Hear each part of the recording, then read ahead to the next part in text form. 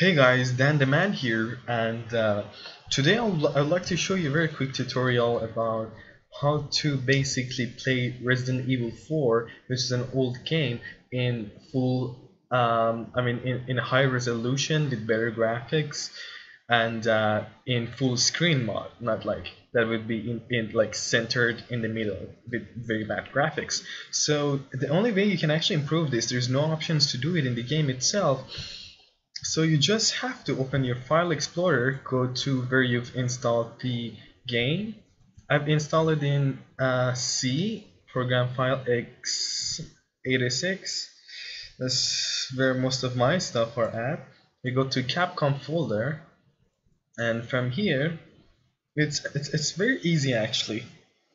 You go to the, let me find it Okay, do you see the setup tool here? You don't click on that, you click on this, the config file. You can double click on it, open it, and uh, here, right here, exactly the, where it says size X and size Y. So you can actually change the uh, resolution here. Uh, the default is to 800 to 600, but you can change it to your uh, default display. You could even set it to uh, 1080p, I mean 1920 by 1200.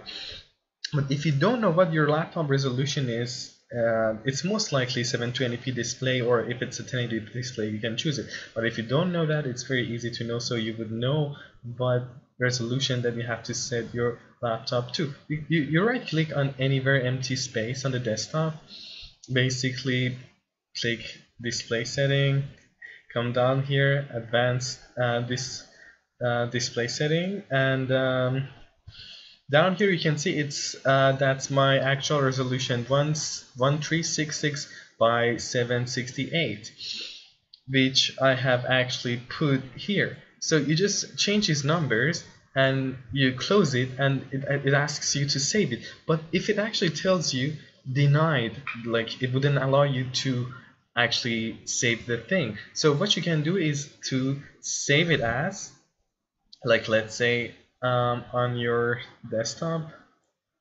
where is it? Save it on your desktop as press save it'll be there. You can see it just went there. If it if it denies uh, giving you the access to change to change the values of the game that's what you can do. Once this is saved here with the new resolution you just copy it or you could actually cut it. Doesn't matter. You could do either things. And then paste it here. It would ask you to replace the file. You replace it and you are good to go. And once you start the game now you will have better graphics it'll be full screen and um, it'll be completely playable.